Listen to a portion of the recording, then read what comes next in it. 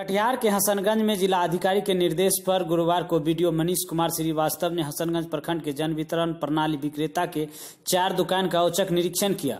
निरीक्षण के दौरान तीन जन वितरण प्रणाली दुकान बंद पाया गया। जगन्नाथपुर पंचायत स्थित जन वितरण प्रणाली की वितरण पंजी, मात्रा, कूपन सहित अन्य कागजात जाँच किया गया।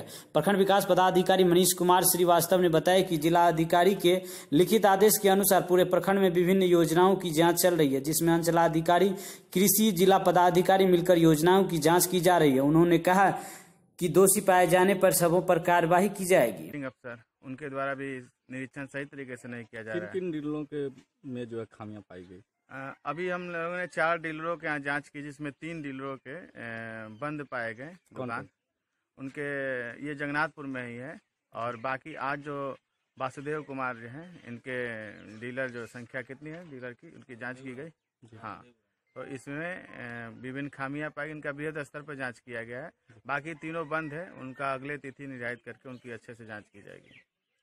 इस पे कार्रवाई की जाएगी? बिल्कुल कार्रवाई की जाएगी। सब जिला पदाधिकारी को प्रतिवेदित किया जाएगा और जिला स्तर से इन पर कार्रवाई सुनिश्चित की जाएगी।